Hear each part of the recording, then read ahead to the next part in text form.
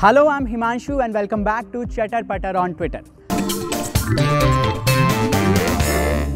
बॉलीवुड की पंगा क्वीन आए दिन विवादों में घिरी रहती हैं। अब बात अगर कंगना की हो और वो ट्विटर पर किसी दिन ट्रेंड ना करें तो बात कुछ हजम नहीं होती। अब आज ही ले लीजिए।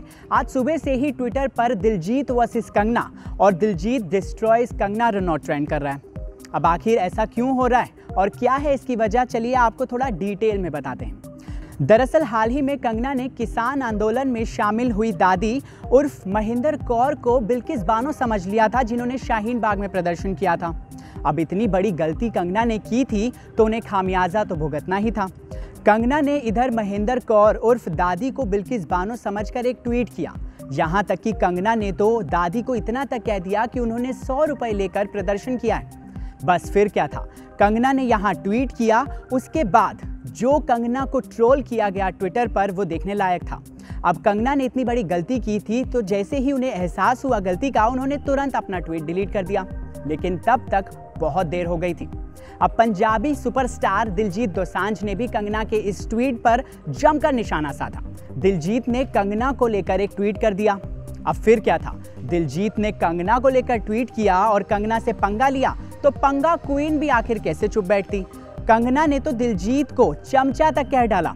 बस फिर क्या था? कंगना के ट्वीट को देखकर पंजाबी इंडस्ट्री भी दिलजीत के सपोर्ट में आ गई। अब एमी वीरक को ही ले लीजिए। एमी वीरक ने तो ट्विटर पर दोनों को लेकर एक मज़ेदार वीडियो ही शेयर कर दिया, जिसे देखकर आपकी हँसी भी नहीं रुकेगी। अब जरा इस वीडियो पर नज़र डालिए और साथ ही दोनों पर बन रहे मीम्स पर